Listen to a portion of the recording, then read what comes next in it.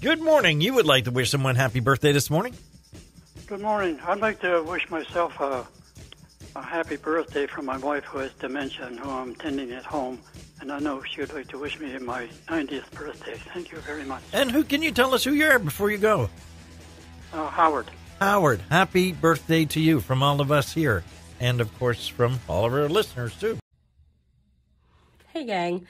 So that was the birthday phone call this morning that touched so, so many listeners across the Tri Counties. And it touched Hartley and I as well.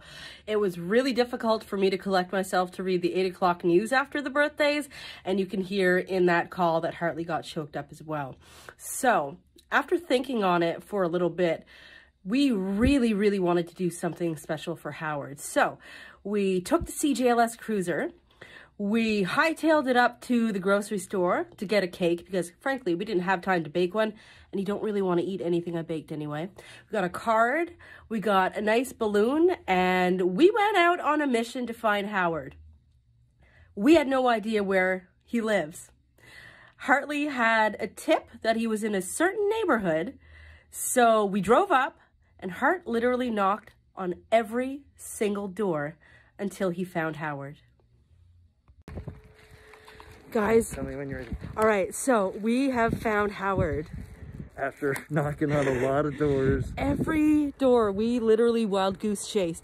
If uh, if you're not familiar, Howard called this morning during the birthdays, and his message touched a lot of people. So we uh, we went out and bought a cake, balloons, some cards, and we went out on a search. Yeah, and we found him. So we, we're going in. Yes.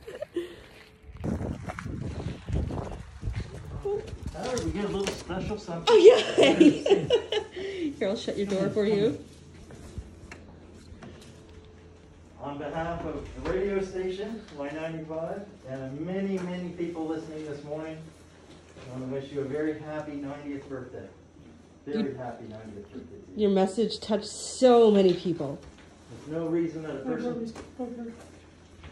And your wife's name is? Joyce. Joyce. Hi, It's Joyce. nice to meet you, Joyce. Hello. My name is Courtney. Nice to see you.